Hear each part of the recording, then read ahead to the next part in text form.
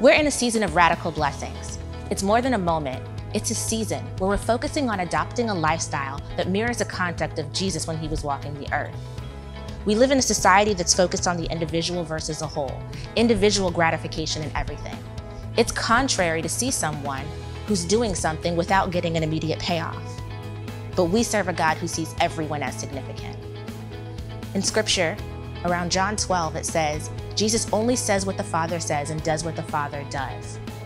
We should be following his examples. We're co heirs with Christ.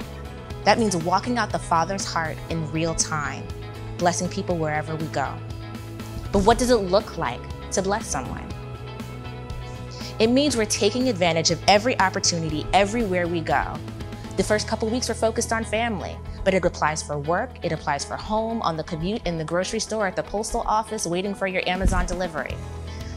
Taking every opportunity to speak hope to the hopeless, to lend a helping hand, to walk alongside someone who's struggling, to listen, to love without agenda, to confirm that people are valuable not because of what they have or what their title is, but simply who they are. We're spreading light in darkness.